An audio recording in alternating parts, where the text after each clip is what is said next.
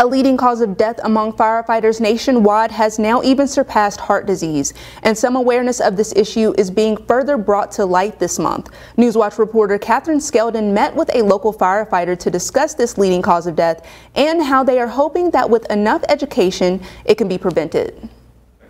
Checks are very vocal. In the past year, nearly 75% of the names added to the International Association of Firefighters Memorial in Colorado Springs were those who died from occupational cancer. This is a type of cancer that is directly linked to hazards in the workforce. And for firefighters, it happens from their exposure to carcinogenic fumes.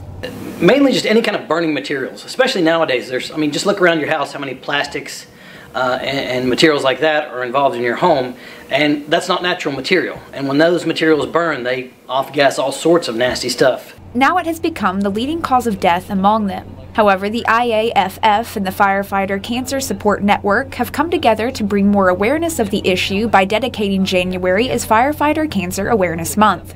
It's a month dedicated to learning more about firefighters' exposure to these cancer causing materials, such as that many of them don't even come from the fires themselves.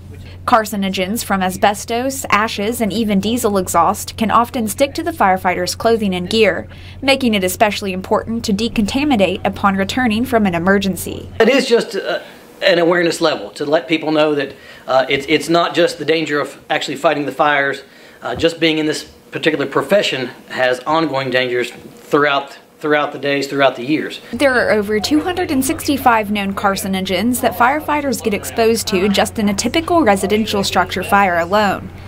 Catherine Skeldon, Newswatch.